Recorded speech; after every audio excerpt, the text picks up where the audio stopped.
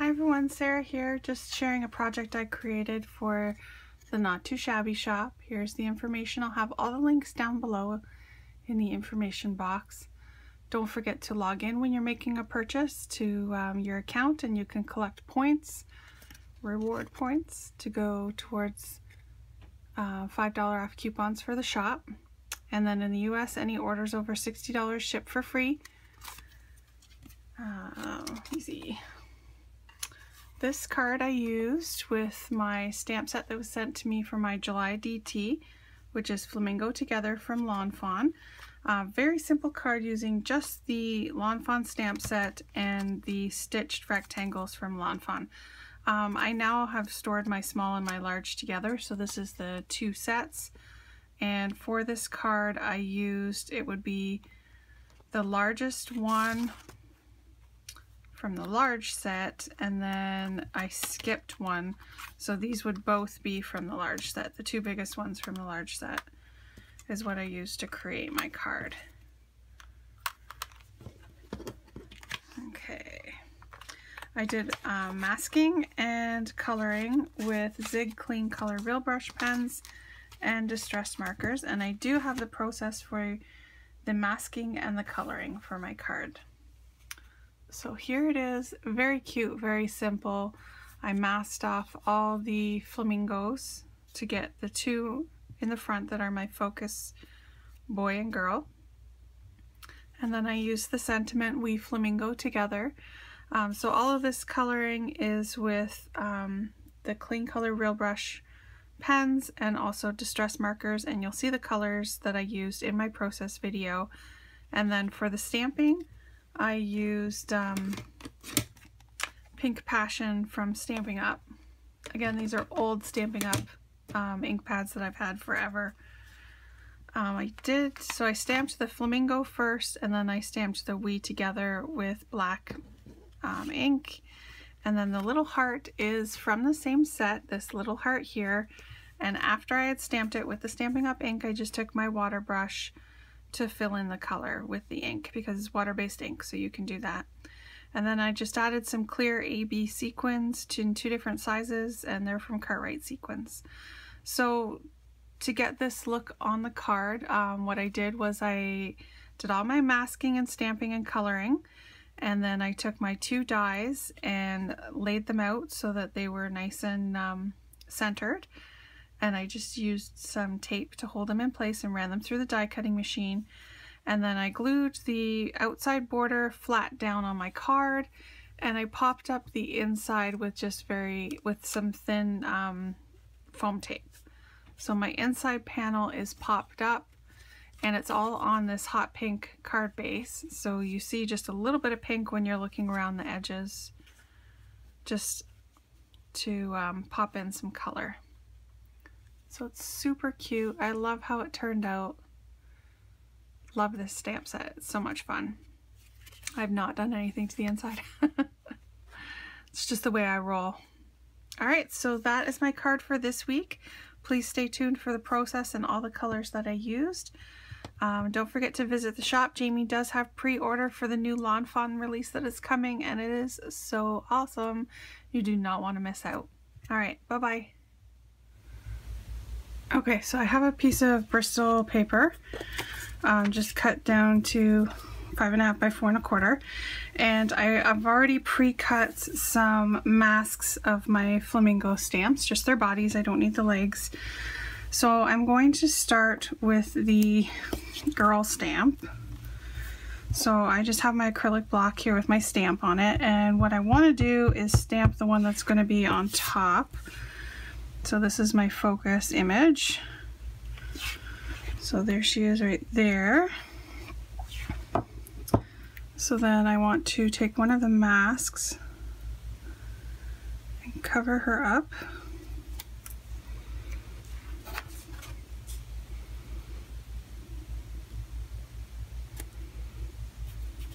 Go, place it as well as you can on top of that image. Then I'm going to get inked up again and stamp another one right there. And I'm going to cover this one up.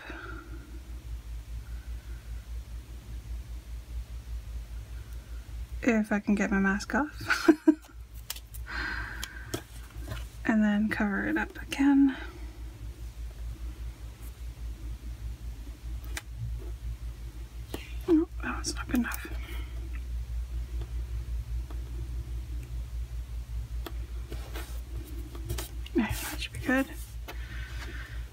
Then I'm going to stamp my final one.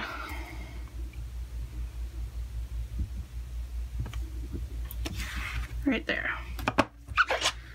Clean off my stamp. And then we're going to get the boy stamp here.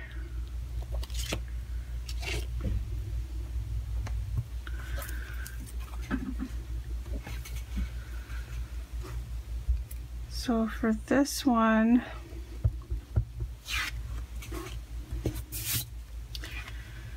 I'm gonna stamp one guy. There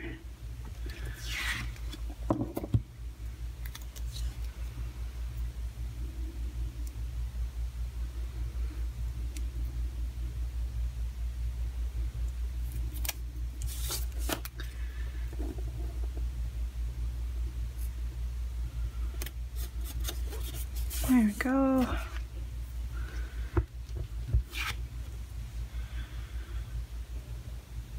Buddy up there a little bit higher.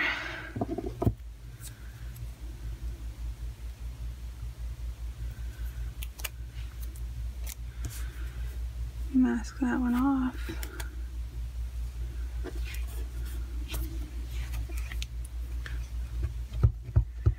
And then one more.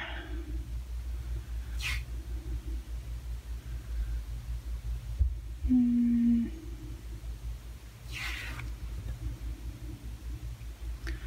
I think I'm going to put him up here.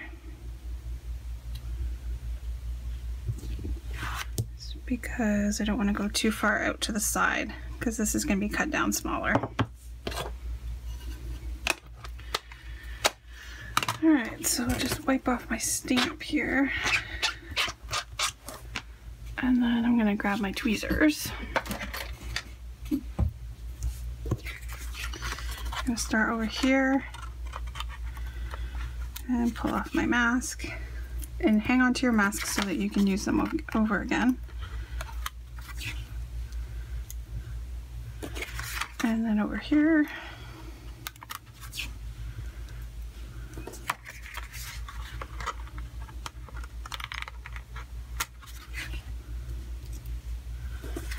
There we go, my little flock of flamingos ready to color up.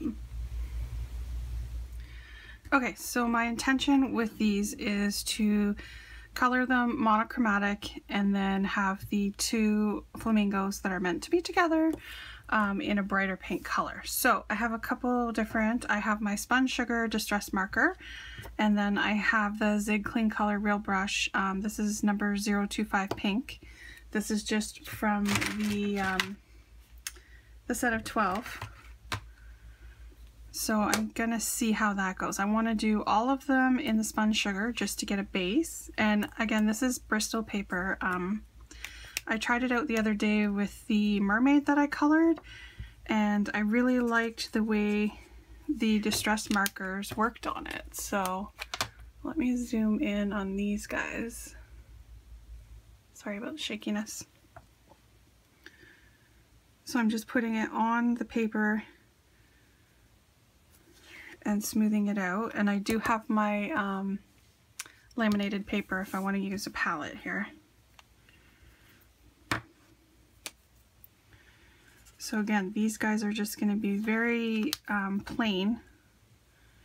And then the two that are my focus are going to be the brighter ones.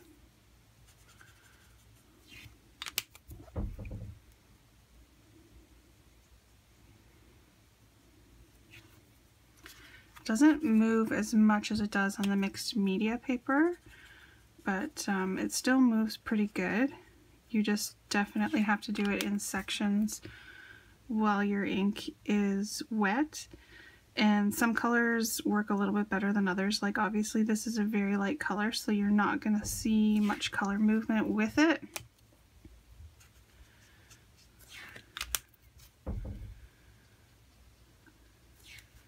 Now I am going to do this one too just as a base because the um, zig marker will add a, a much brighter color to it.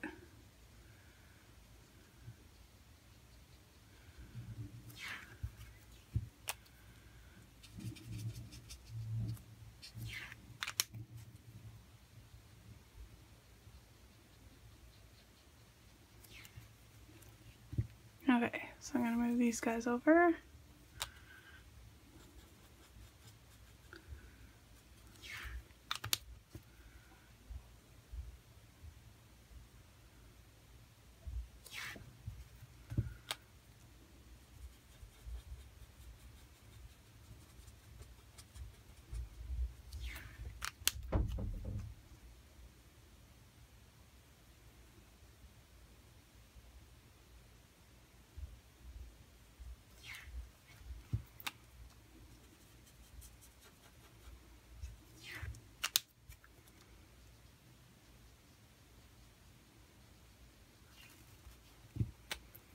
Okay, get this in here.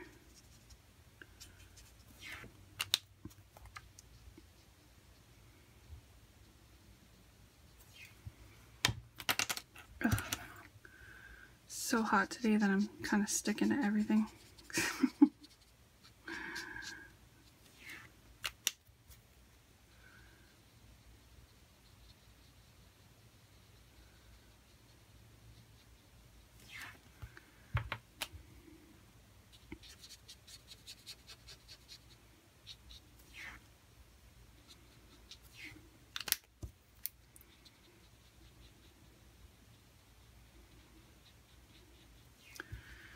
Okay, so there's the base.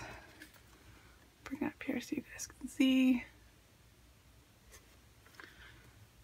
And then we'll focus on the girls right now because I believe they're dry. Um, for their beaks.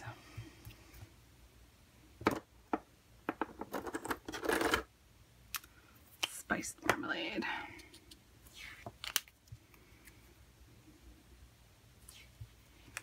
See that one you can tell the color spreading a little bit more just because it's a darker color.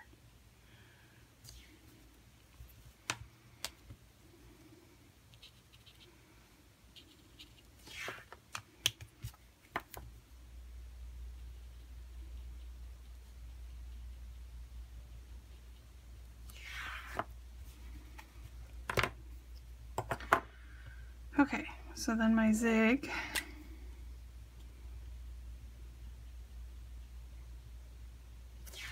Again, I'm just going to do a small section at a time.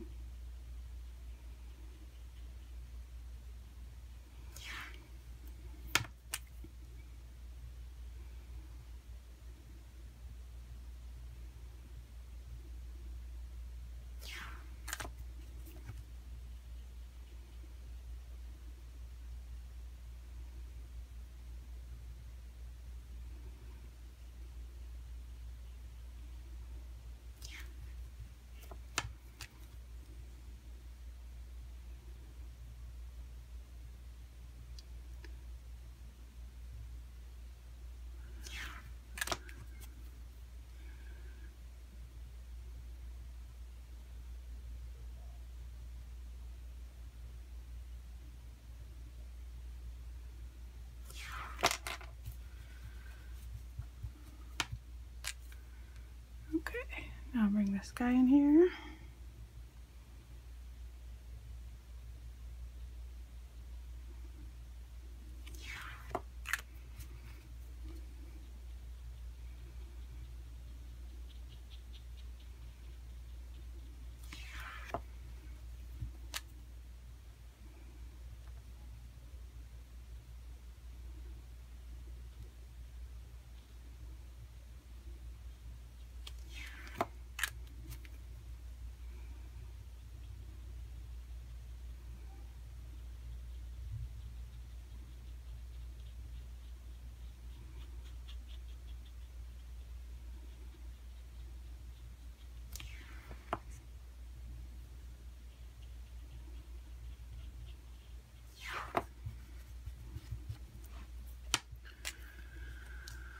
Okay, now the feathers.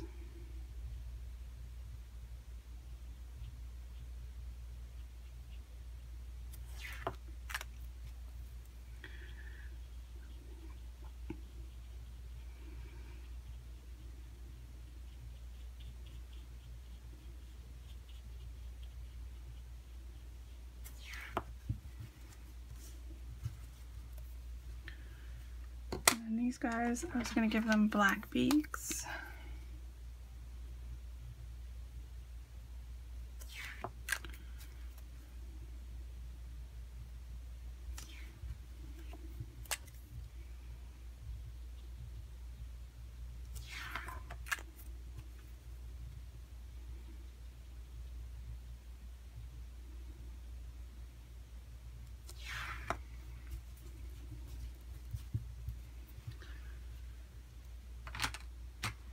Then I want to make it look like they're standing in water.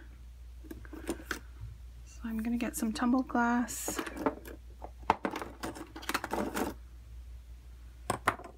Mm.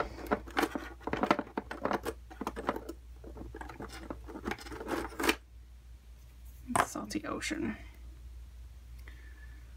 And this is where I'm going to use my palette because I want to have more control and just be um, a light color. So I'm going to add more water to it.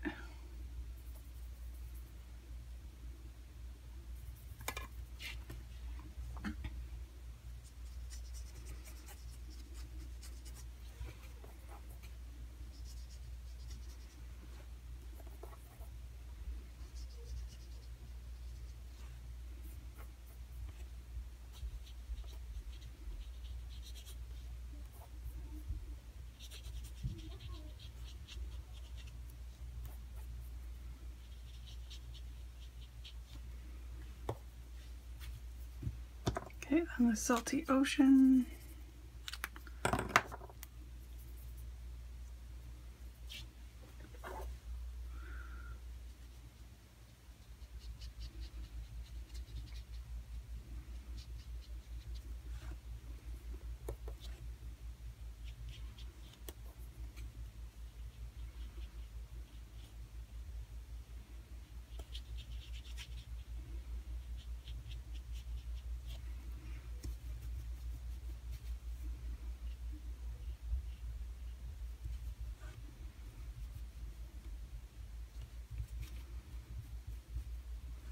All right, so that's it for now.